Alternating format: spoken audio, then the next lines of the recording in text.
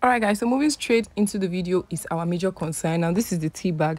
It's called tea diviner. Okay it's 100 percent organic and trust me with just this one sachet you're going to make five liters of tea. You will just have to boil it. So um when you remove the tea bag then you pour the shaft of the tea bag. It's better for a good result. Pour the shaft of the tea bag into the water five liters of water then boil it. Then you're going to keep it and i'm going to tell you how you're going to use it at the end of the video. So follow the video to the very end. Already i was gifted about four pieces of it and my friend used it and we saw massive results. So that's why i'm sharing it now. Okay so here this is the five liters of water.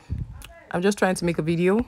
So i added one extra liter because when it boils it's going to evaporate so just turn the water into the pot and then empty your tea bag just like this. Instead of putting it like your normal lipton make sure you empty the tea bag. The chaff is quite important. Okay i don't want to go close to my gas.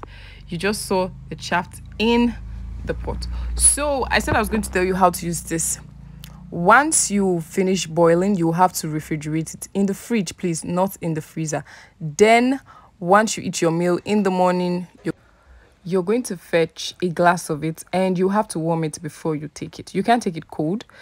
It's really not going to work that much. So you're going to warm it. Now, the aim of keeping it in the fridge is because you don't want your tea to get spoiled. So exactly what the tea looks like. This is the brand name. Okay, you can see shafts in this tea can make it get worse. So that is the aim of putting it in the fridge. Now, anytime you want to take it, you're going to warm it. So you're going to take it the same way you're taking your meal. If you're taking two square meal in a day, you're going to take it twice after your meal.